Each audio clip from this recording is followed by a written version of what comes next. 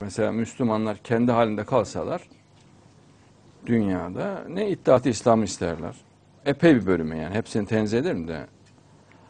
Ee, ne başka bir şey. Yani işte eşiyle evinde oturur. Camisine gider, camiye gider. Çocuğunu okutur. Kendi işine gücüne bakar. Halbuki Allah burada e, böyle bir sade hayat, böyle bir hayat istemiyor Allah. Yani küfürle kıran kırana bir mücadele istiyor Allah bizden.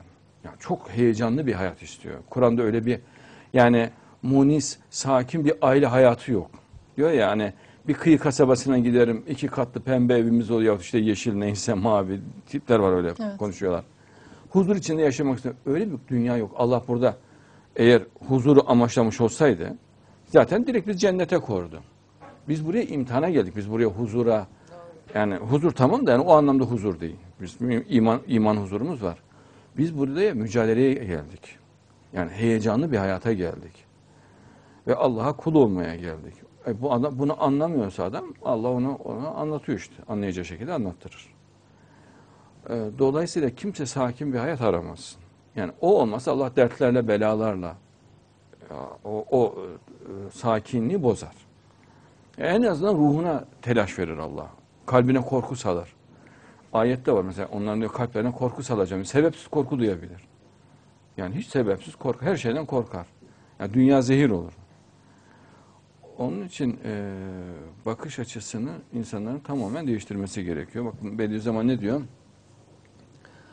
Azametli bir kıtanın yani Asya'yı kast, e, e, kastediyor. Şanlı bir devletin Türk devletini kastediyor. Ee, ve değerli sahipsiz bir kavmin, Türk kavminin kurtuluşu reçetesi İttihat-ı İslam'dır diyor. İslam Birliği'dir. Çok net.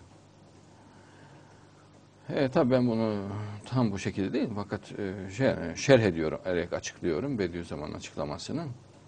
Mektubatta hakikat çekirdekleri 452. sayfada. Bunu bu şekilde açıklıyor Bediüzzaman. Ee, bakın. Onlar hidayete karşı hevalarına uymak istediklerinde o da Hazreti Mehdi de hevaya karşı hidayete uymayı ister. Yani mesela bakın o devirde demek ki ahir zamanda hidayete karşı hevalarına uymak isteyecekler. Nasıl oluyor?